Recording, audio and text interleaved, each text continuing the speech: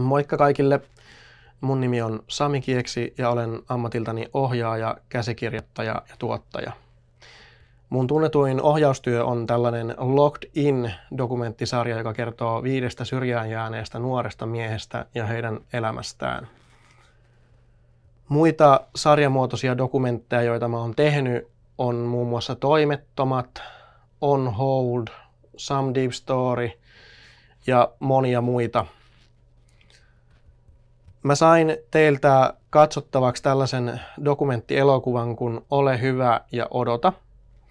Ja toi dokumenttielokuva oli mun mielestä tosi koskettava jo ihan senkin takia, että mä oon itsekin käsitellyt tätä aihetta yhdessä mun dokumenttisarjassa, jonka tuossa aikaisemmin mainitsin. Eli tämmöinen On Hold dokumenttisarja, joka löytyy Yle Areenasta, käsittelee myös viiden yksin tulleen turvapaikanhakijan elämää.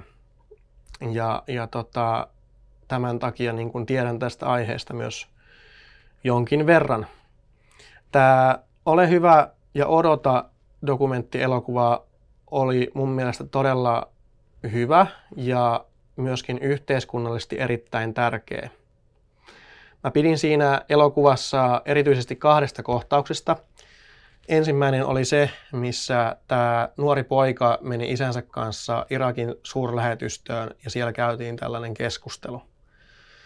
Siinä mun mielestä oli niinku semmoista aitoa dokumentaarista henkeä ja, ja tunnetta ja autenttinen niinku tilanne, joka oltiin saatu tallennettua niinku hyvin.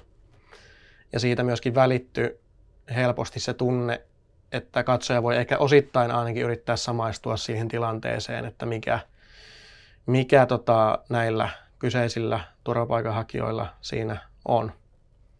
Toinen kohtaus, mistä mä pidin paljon, oli tämä kohtaus, missä tämä vanhempi poika meni puhumaan näistä omista opiskelumahdollisuuksista ja kävi sitten siinä keskustelussa ilmi, että koska hänellä ei ole oleskelulupaa, niin, niin tietyt vaihtoehdot, joista hän haaveili, niin oli sitten poissuljettuja ja, ja kävi esille myös hyvin se, että kun sulla ei ole oleskelulupaa, niin sun on tosi vaikea saada töitä tai opiskelupaikkaa ylipäänsä ja jotkut mahdollisuudet on vaan suoraan poissuljettu. Eli opiskelu, opiskelu ja työnteko ja elää muutenkin ilman oleskelulupaa on tosi haastavaa. Ja sen tämä elokuva mun mielestä hyvin toi, toi esille.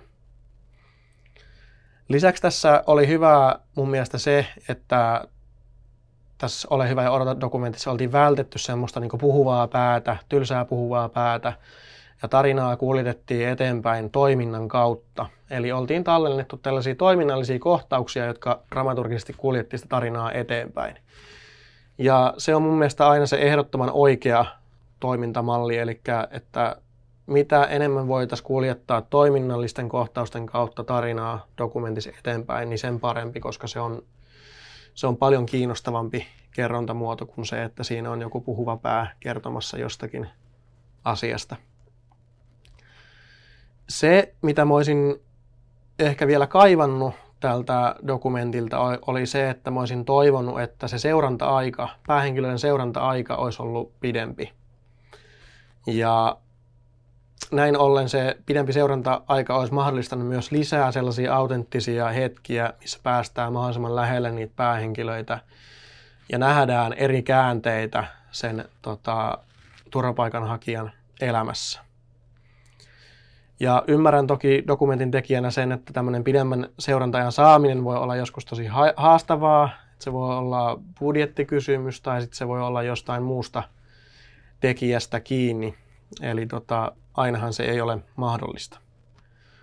Mutta kokonaisuudessaan sanoisin, että toimiva elokuva ja yhteiskunnallisesti tosi tärkeä.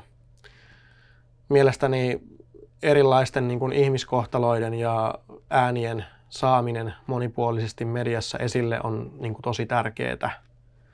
Ja tällaisia elokuvia mun mielestä pitäisi tehdä paljon enemmän.